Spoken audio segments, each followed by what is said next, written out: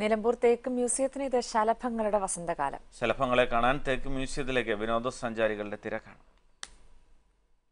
ലേറ്റായി വന്നാലും ലേറ്റസ്റ്റായി വരുവനെന്ന രജനീകാന്തിന്റെ cinema dialogue പോലെയാണ് നിലമ്പൂരിലെ ഉദ്യാനത്തിലേക്കുള്ള ശലഭങ്ങളുടെ വരവ്. സാധാരണ ഓഗസ്റ്റിലാണ് ശലഭങ്ങളുടെ ഇവിടേക്കുള്ള സഞ്ചാരകാലം.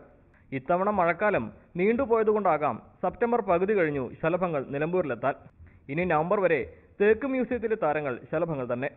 എട്ടോളം ശലഭ കുടുംബങ്ങളിലെ വ്യത്യസ്തവും വൈവിധ്യവുമാർന്ന നിരവധി ചിത്രശലഭങ്ങളുടെ കൂട്ടമാണ് ഇവിടേക്ക് എത്തിയിട്ടുള്ളത്. ഇതിൽ ബ്ലൂ ടൈഗർ വിഭാഗത്തിലുള്ള ശലഭങ്ങളാണ് അധികമുള്ളത്. നീലക്കടുവ തെളിനീലക്കടുവ അരളി ശലഭം എന്നീ വിഭാഗങ്ങളാണ് കൂടുതലായും ഈ തേക്ക് മ്യൂസിയത്തിലെ ശലഭോദ്യാനത്തിൽ കൂടുതലായി കണ്ടുവരുന്നത്. ഇന്ത്യയിലെ ഏറ്റവും വലിയ ശലഭമായ ഗരുഡ ശലഭവും അരളി ശലഭവും എരിക്തപ്പിയും ഉദ്യാനത്തിലെത്തുന്ന വർണശലഭങ്ങളിൽ ചിലത് മാത്രമാണ്.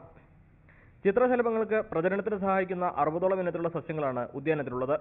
ശലഭങ്ങളുടെ പ്രചരണകാലം നിലമ്പൂരിൽ വിനോദസഞ്ചാരികൾക്ക് ഉത്സവകാലമാവുകയാണ്. ഏഷ്യനെറ്റ് ന്യൂസ് മലപ്പുറം.